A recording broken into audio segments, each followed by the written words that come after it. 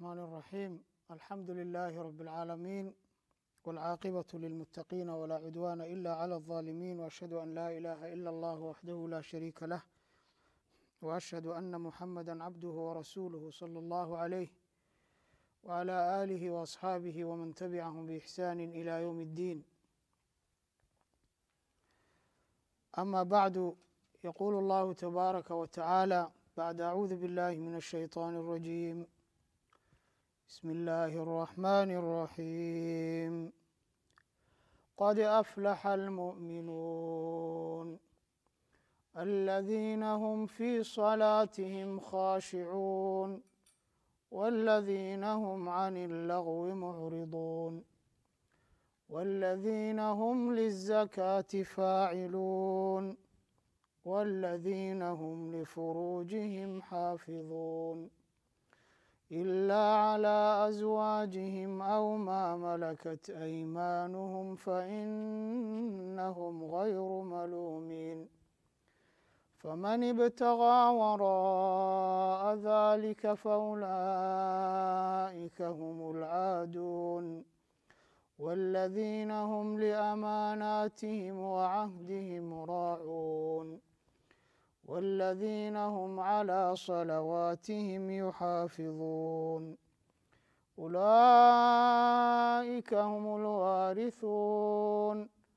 الذين يرثون الفردوس هم فيها خالدون.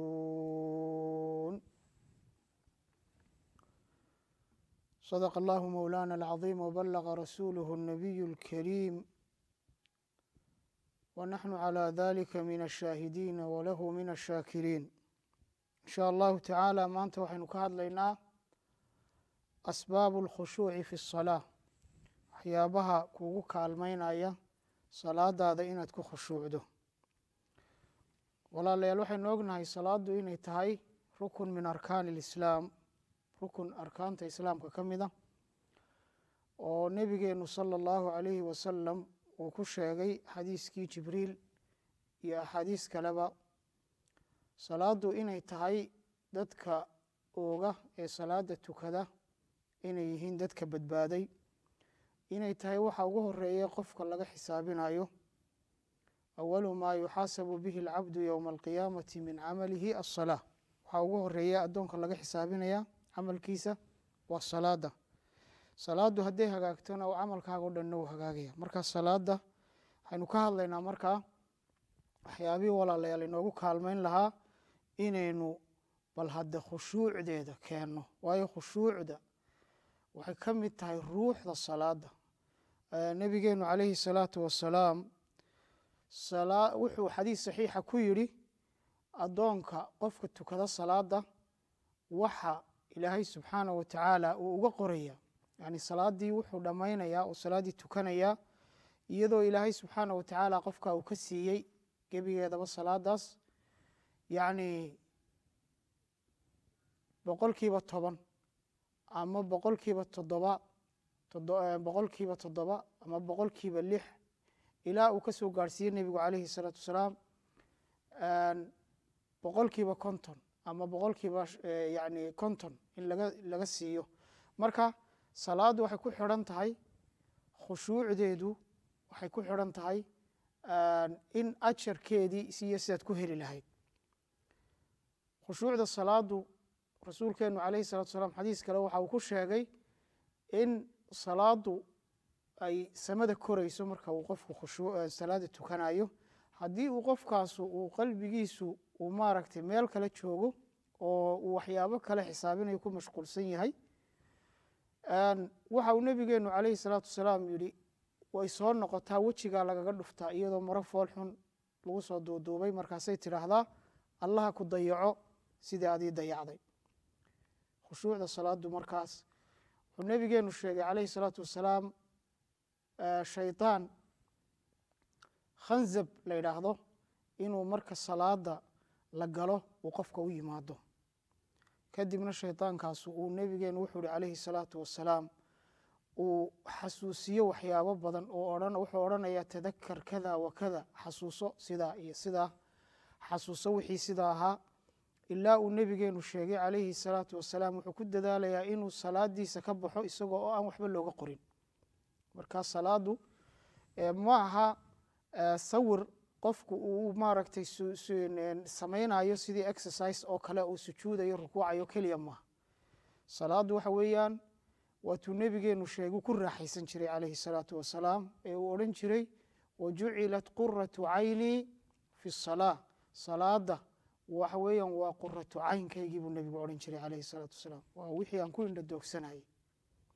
Maadaama ay sidaa tahay oo ay tahay salaadu wixii uu rasuulkeenu calayhi salatu wasalaam ku indha doogsanayay salaadu xataa ilaahay qur'aankiisa inoogu sheegay wastaciinuu biasabri waasalaah salaada iyo sabirka kaalmaysta. Salaadu waxa weeyaan ilaahay subxaana wa tacaala waa wax weyn ayuu ilaahay ka dhigay. Wainaha lakabiiratun ila cala alkhaashiciin salaaddu way ku weyn tahay dadka khushuucay mooyaane dadka kale way ku adag tahay. Yacni waxa weeyaan dadka khushuucay unba ee khushuucda leh. Khushuucduna waxa weeyaan istixdaaru lqalbi qofku qalbigiisu waa inuu joogaa oo markuu akhriyaayo qur'aankii iyo aayadihii iyo dikrigii waa inuu qalbigiisu xaadir yahay.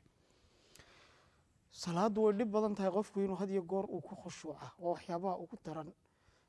Sidaa awgeed salaadu yani shaydaankaa dhan ayuu nebigeenu sala allahu aleyh wasalam ku sheegay inuu wax kaleba aanu ka shaqeyna inuu salaada kaa lumiyo mooyaane.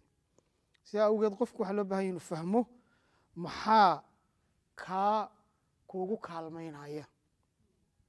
Bal inaad khushuucdo oo aad salaadaadii aada balgarato waxaad tukatay iyo qalbigaaga uu soo xaadiro waxa weeye waa in aad ogaataa maxaa kuugu kaalmaynaya.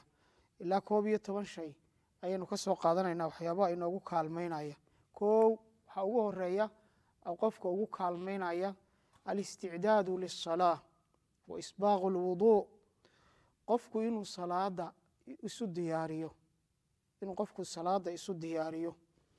Inuu salaada isu diyaariyo waxaa kow ka ah qofku inuu weyse wanaagsan soo qaato.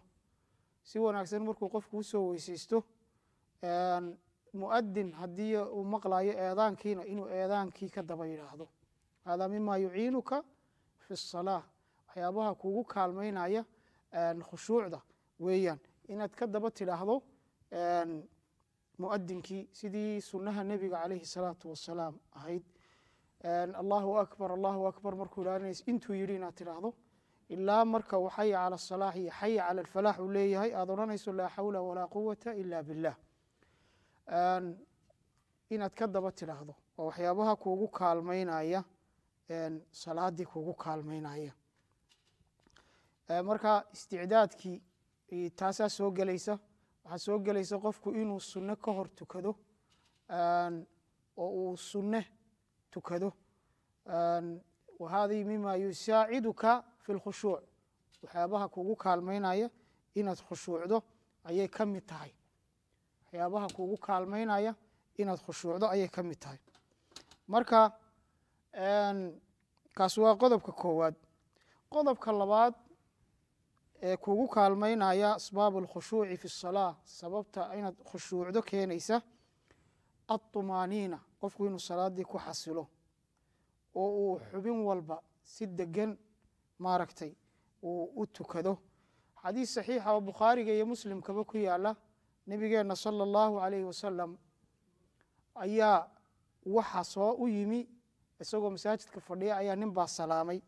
Dabeetana ninkii markuu dhaafay buu salaad galay salaad markuu galay ayuu ninkii salaaddii si deg dega u tukaday. Nebigeenu nebigeennii buu ku soo noqday markuu salaaddii dhameeyey. Wuxuu ku yidhi nebigu calayhi salaatu wasalaam irjic fasallii fainaka lam tusallii noqo buu nebigu ku yihi calayhi salaatu wasalaam oo tuko maa tukane noqo oo tuko maa tukane hadda u fiirso irjic fasallii fainaka lam tusallii haddana ninkii wuu tegey waxa uu wuu tukaday rasuulku wuu eegayaa kadib haddana uu ku soo noqday. Kadib haddana rasuulku intii in leeg buu ku yidhi tuko maa tukane dib noqo oo. Haddana wuu soo wuu noqday wuu tukaday. Markii saddexaad buu ku yidhi wallaahi waladii bacahaka bilxaqi. Waxaan intaa ahayn ma garanayo. Laa uxsinu hayrahaa facalimnii ibar buu nebiga ku yihi calayhi salaatu wasalaam dabeetana nebigeenu sala allahu alayh wasalama halkiibuu tacliintii uga bilaabay. Marka aad allahu akbar waa inaad tidhaahdaa si fiican u takbiirataa faatixada iyo wixii maa macaka min alqur'aani wixii qur'aana iyo faatixada markaad akhrido rukuuc ilaa aad ku xasisho buu nebigu istaag ilaa aad ku xasisho istaaggii waa tumaaniinadii marka hada mima yusaaciduka qofku inuu u tukado inay xubin waliba halkiisa ku noqoto si degan oon deg deg lahayn oo aanay wax deg degi ku jirin inuu u tukado. Aطumaaniina ninkaas waxaa loo bixiyey almusiiu lisalaatihi qofkii salaadiisii xumeeyey. Markaa haddii aad xasili weydo oo aad sujuuddaada iyo rukuucdaada aad si fiican u tukan weydo aad xasili weydo aad markiiba salaaddii deg deg uga baxdo kuguma khushuuci ma jirayso welibana waxaa laga soo qaadayaa salaadaada qof aan tukan oo kale. Sidaa uu nebigu yihi calayhi salaatu wasalaam noqo oo tuko maa tukane buu nebigu ku yihi calayhi salaatu wasalaam. Waxa qodobka saddexaad waxa uu isna ka hadlayaa oo kugu kaalmaynaya inaad ka dhigto markaad salaadaada tukanayso qof sidii salaadii ugu dambeysay tukanaya oo kale. Ijcal aakhira salaatika. Salaadaadii ugu dambeysoo kale siaad bal u tukan lahayd u tuko. Haddii lagu idhahdo ka waran waa salaaddii ugu dambeysay salaadanaad tukanaysa. Siaad u tukan lahayd. Sidaa awgeed salli salaata muwadacin baa layidhi tuko salaada qof sidii qof salaaddii ugu dambeysay tukanaya oo kale. Muwadac waxa weeye waa qof sii sagootiyaya oo maaragtay ku leh salaaday nabaday way ii dhammaatay oo markaa qofkii uu dhimanayo oo kale markaas marka salli salaata muwadac waxa weeyaan salaada inaad ka dhigato yani waxay kugu kaalmaynaysaa inaad markaa si fiican u khushuucdo. Waxaa la sheegaa oo la sheegaa xaatim alasam nin dadkii saalixiinta ahaa ee salafka ahaaya ayuu haa waxaa la odhan jiray kaana min akhshaci cibaadi illah addoommaha ilaahay kuwa ugu khushuucda badan leh buu ka mid ahaa markuu salaada tukanayo wuxuu ahaa addoommaha ilaahay kuwa ugu khushuucda badan leh. Marka waxaa lagu yidhi sideebaad khushuucdan ku kasbatay?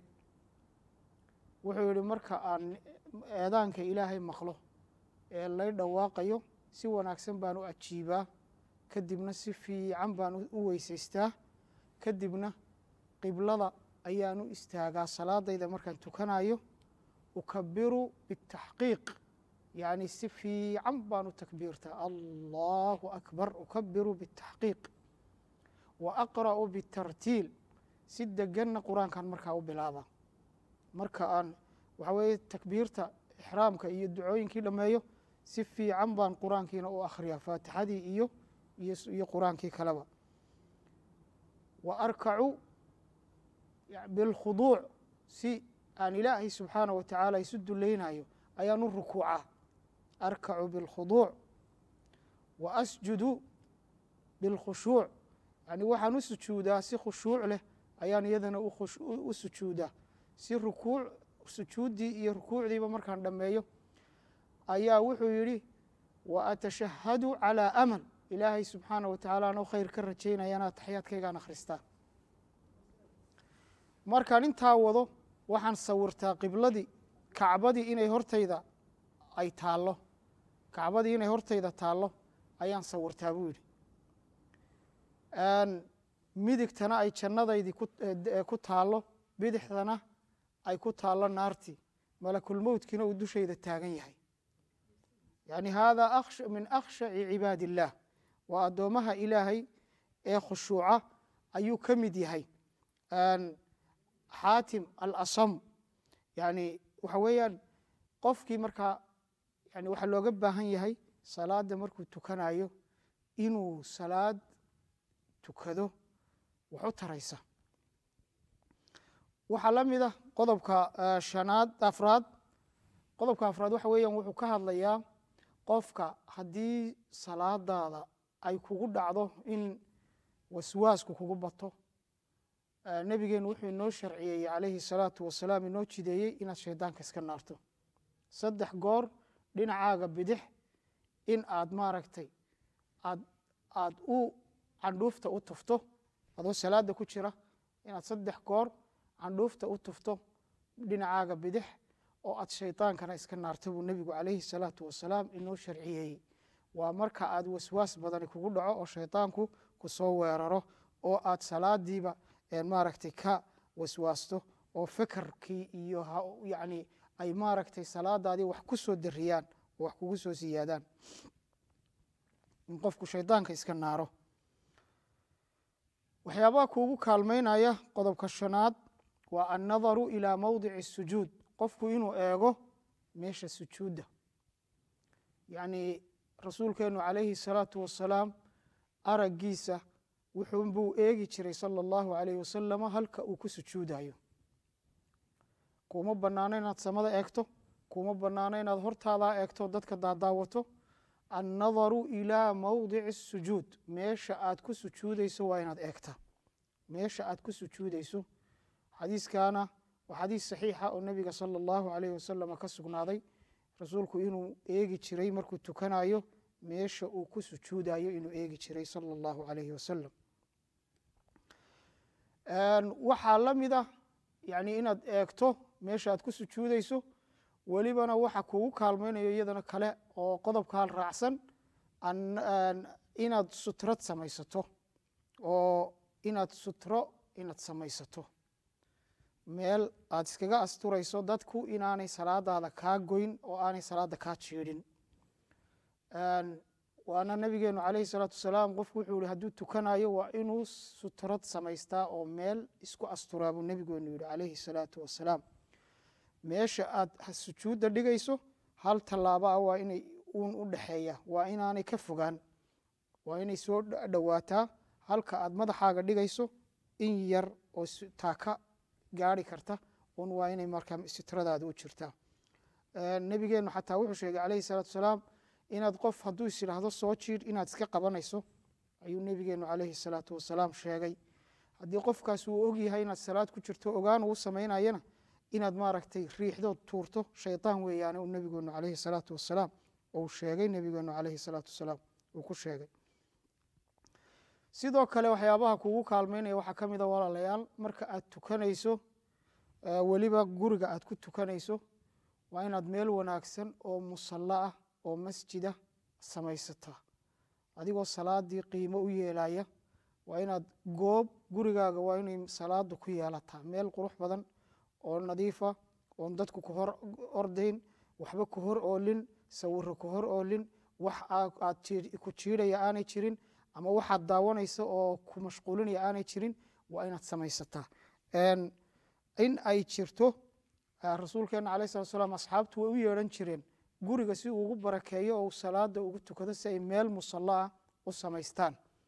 Oo markaa salaadii hadhow haddaad qiyaamuleil tukanayso ama gurigii faralkii aad ku tukanayso waxa weeyaan inaad ku tukato bartaas oo meel musalo ah aada yeelato gurigaaga.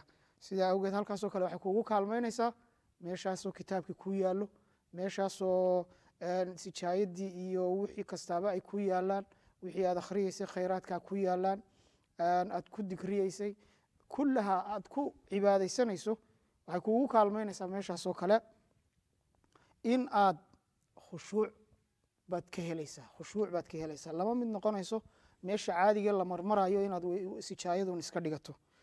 Gurigaaga waa inaad musalle ku yeelataa. Wahaadaa asxaabtana way ka sugnaatay rasuulkeena calayhi salatu salaam inay u yeedheen intaasoo goor oo uu rasuulku xataa weydiiyo yihi halkaad doonaysaa inaad musalle ka dhigato oo uu rasuulku ugu tukaday sala allahu calayhi wasalam qodobka lixaad waa waxa weeyaan an yaclama ana allaha yujiibuhu cinda qiraa'atihi. Waa inaad ogaataa salaada markaad tukanaysa inaad ilaahay la hadlayso. Ilaahay baad la hadlaysaa. Suuradda faatixada markaad akhriyeyso waxa weeye ilaahay wuu kuu jawaabaya. Aayad walba markaad akhriyeyso ilahay wuu kuu jawaabaya ilaahay xadiisulqudsi wuxuu leeyahay salaada waxaan u kala qeybiyey anigiyo addoonkayga laba qaybood addoonkaygu wuxuu weydiistana wuu leeyahay idaa qaala markuu idhaahdo alxamdu lilah waxau ilaahay odhanayaa xamadanii cabdii addoonkaygu ii mahadiyey alxamdu lilaahi rabi اlcaalamiin alraxmaan الraxiim ahnaa calaya cabdii maaliki yowmi اddiin majadanii cabdii addoonkaygu wii ammaanay.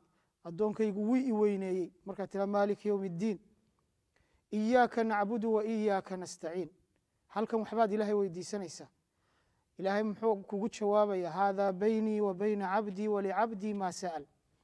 Arrintaasu anigii addoonkayga inoo dhexaysaayo addoonkaygu wuxuu i weydiistaanu leeyahay walicabdii maa sa'al ihdina asiraaطa almustaqiima siraaطa aladiina ancamta calayhim gayri اlmaqduubi calayhim wala اdaliin haadaa beynii wa beyna cabdii walicabdii maa sa'al addoonkaygiiyo anigay noo dhexaysa arrintaasiyo addoonkayguna wuxuu leeyahay waxa uu ii weydiistay marka walaalayaal waxaasoo dhani waxay noo sheegaysaa waxyaabaha inuu qofku istishcaar cadamati salaa qofku markaasuu khushuucaya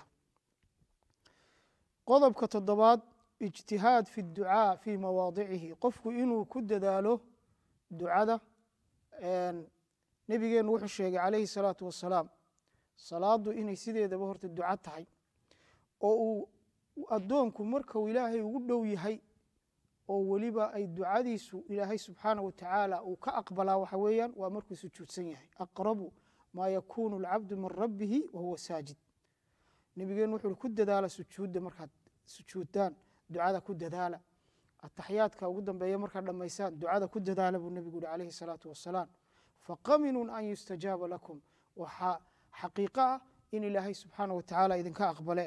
Marka qofku inuu ducada ku dadaalo inuu ilaahay baryo oo ducaysto waktiga uu sujuudsan yahay iyo meelaheeda sujuudda sidoo kale inuu ku dadaalo qofku adkaartii dikriyadan iyo adkaartan aad akhriyeyso waa inaad si fiican u akhridaa bitaxqiiq waa inaad dhadhamisaa halkaa arrin yaroo faa'iidaa baan idinku kordhinaya walaalayaal.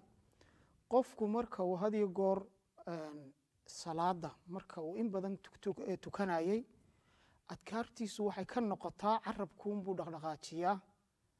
Kadib waxa weye wuxuu leeyahba ma ogaado waxaa laga yaba inaad tirahdo saasoo kale inaad tirahdo taasu ma banaana waa inaad mid walba dhadhamisaa subxaana rabiya alcadiim wa bixamdihi subxaana rabiya alcadiim subxaana rabiya alcadiim hadda iminka markaad akhriyeyso waad garanaysaa waxaad akhriyeyso laakiin saasoo kale qofku inuu idhaahdo hada laa yajuus carabkaagii iska bartay waxaa laga yaabaa markaas inaad iska quruqurclayso un maxaa la ydhaha ama carabkuuna kaga dhaqdhaqaajiso waxa weeyaan waa laa yajuus. Waa inaad barataa waa inaad si degan u akhridaa subxaana rabiya alcadiim samica allahu liman xamida. Waa inaanad oo aana saasoo kale u akhriyin samica allahu bitaxqiiq. Samica allahu liman xamida. Allahu akbar subxaana rabiya alaclى wabixamdihi subxaana rabiya alaclى wabixamdih altaxiyaatu lilahi wاsalawaatu wاطayibaatu sidaas waa inaad u akhridaa waa inaanad sidii maaragtay aanad combyutarkun iska or odhan kelmadaha ee aad si fiican u taxqiijisaa waxaan u malaynaya intaa la fahmay dadka qaarkood markaad ku dhinac tukanayso waxaa laga yaabaa qofki iyadoo qalbigiisu meel kala jiro inuu qofku kelmadaha uu u odrhanayo uun sidii maaragtay si iqaaciya. Si yaroo maaragtay. Haakada. Waxa weye waxaa loo baahan yahy inaad si fiican oo degan u tidhaahdo bitaxqiiq. Oo aad ku dadaasho adkaarta inaad si fiican mid walba u tidhaahdo. Waana maalin walba iyo salaad walba ad tukanaysaba waa inaad saa tidhaahdaa.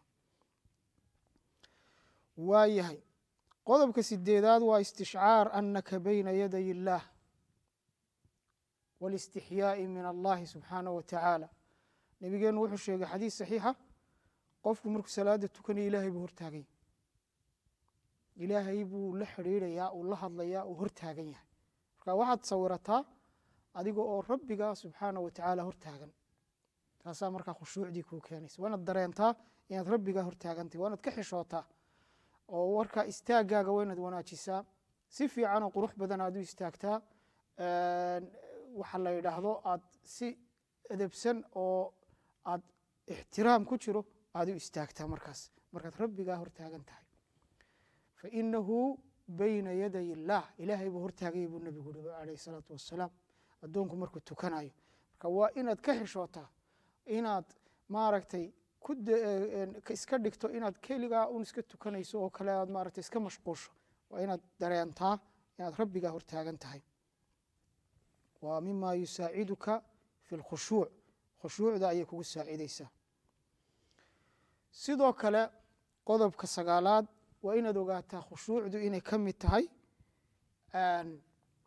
ruuxdii salaada salaada ruuxdeedii inay khushuucdu ka mid tahay. Waa inaad ogaataa khushuucdu inay qiimo weyn salaada ka ag leedahay. Waa inaad ogaataa inta aad khushuucday uun inaad ajarkeedii leedahay waana daliilkuna wuxuu noqonayaa xadiiska nebiga sala allahu alayh wasalam ee uu sheegay ku caddeeyey nebigeenu calayhi salaatu wassalaam in addoonku salaada markuu ka baxo in tii uu ka khushuucay un laga siinaayo. In allaaliya intuu ka khushuucay. Nebigeenu xadiis kale wuxuu sheegay calayhi salaatu wassalaam qofku waa nebigu calayhi salaatu wasalaam qofka muslimkaa buu nebigu uhi alayhi salatu wasalaam. Markay salaada faralkii u soo xaadirto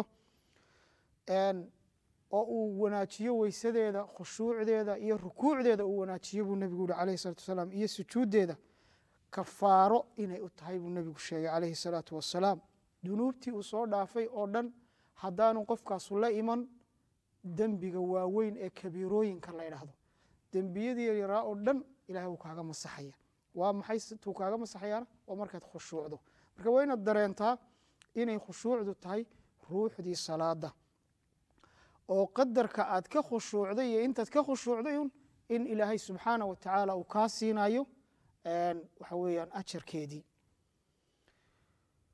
Waxa qodobka tobnaad wuxuu noqonayaa altadabbur fii macaani alaayaat qofku inuu had iyo goor ku khushuuco aayadaha iyo macnahooda qur'aanka uu akhriyayo rasuulku calayhi salaatu wasalaam aad buu ugu khushuuci jiray khulafaa uraashidiintiina sidoo kale way ku khushuuci jireen asxaabtii waa ku khushuuci jireen kuwaas inaynu ku dayano weyaan markaa waa inaynu aayadaha dhadhaminaa waa inaynu aayadaha ku khushuucnaa waa inaynu maaragtay aayadda fahanaa oo aynu ku celcelinaa oo aynu dareennaa waxa weye macnaha ay keenayso. Saa awgeed markaa qofku wuu khushuucayaa salaaddii waxbay u taraysaa.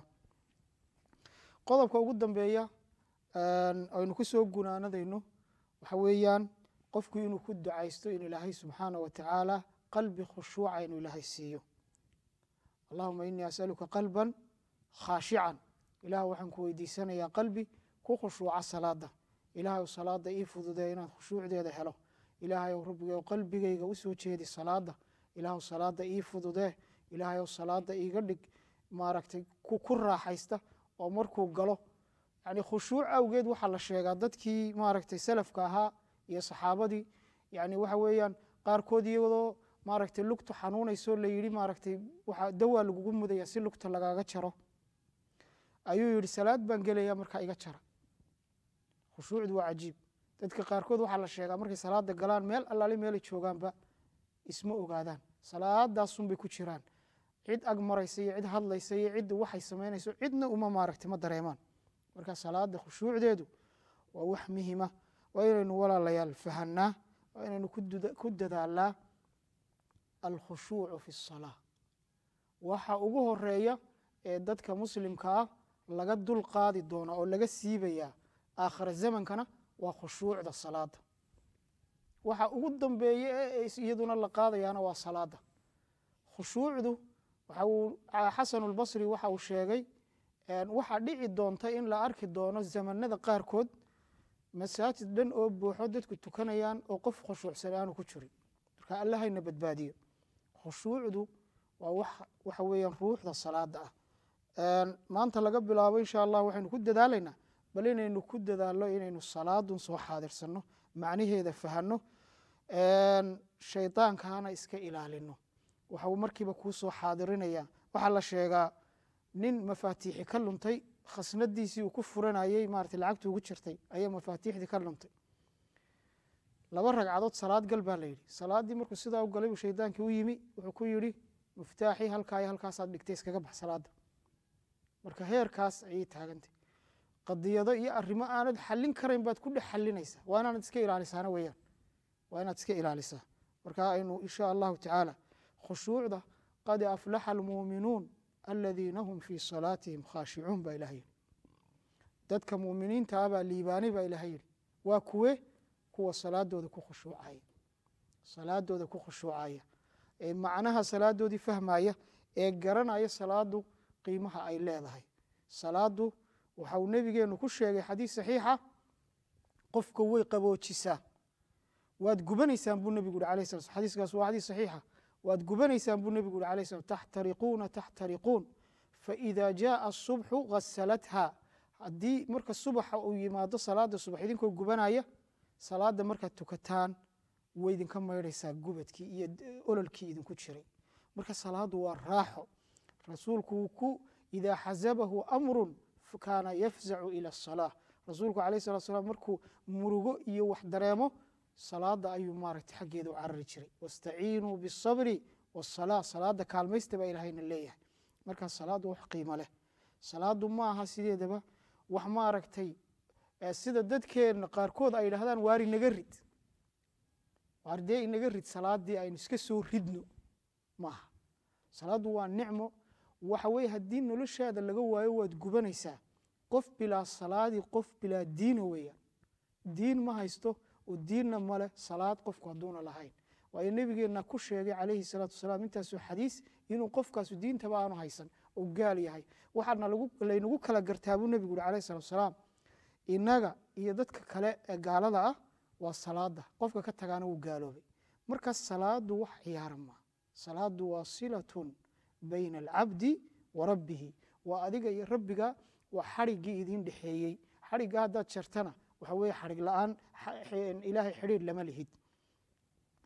Salaada iyadoo qiimaheedaas aynu walaal fahansannahay walaalayaal waa inaynu fahanaa inay khushuucduna ruuxdii salaada tahay oo qofku waa inuu mar walba taraygareeyaa oo ku dadaalaa oo uu mar walba xaawilaa si uu khushuuci lahaa si uu u khushuuci lahaa.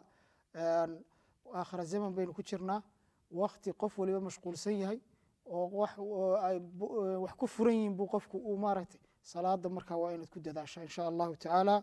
Intaasaan ku soo gaabinayaa ilaahay subxaana wa ilaahay haynaga dhigo kuwa uu salaada ugu kaalmeeye allah haynaga dhigo. Ilaahay subxaana wa tacaala waxaynu weydiisanaynaa qalban khaashican walisaanan daakiran watowbatan qabla almowt waraaxatan bacda almowt ilaahay subxaana wa tacaala haynaga dhigo aladiina hum fii salaatihim khaashicuun kuwii salaadooda ku khushuuca allah haynaga dhigo allahuma ajcalna miman yakhshacuuna fii salaatihim ilaahw naga dhig kuwa salaadooda ku khushuuca ya allahu ya kariim. Ilaahay ou salaada kuwaad ka aqbashay aanad wejiga lagaga dhufan ilaahu naga dhig. Ilaahu kuwa salaadoodu ay wax u tarto ilaahu nooga dhig. Kuwa qiyaamaha markay yimaadaan iyagoo oo wejigoodu nuurayo iyo meelihii weysadu nuurayaan rasuulku calayhi salaatu wasalaam soo xaadirsado oo rasuulka safkiisa ku soo xaadira ilaahu naga dhig. Kuwa maaragtay lala soo xaadiriyo dadkii a'imat alkufri ilaahu hanaga dhigin ilaahay rabbiga noo fududee salaada wsala allahu calaa sayidina muxamed wacalaa aalihi wasaxbihi wasalam wajazaakum allahu khayra baaraka allahu fiikum. Ilaahay subxaana wa tacaala haynaga aqbalo subxaana rabika rabi اlcizati cama yasifuun wasalaamu cala almursaliin walxamdu lilaahi rabi اlcaalamiin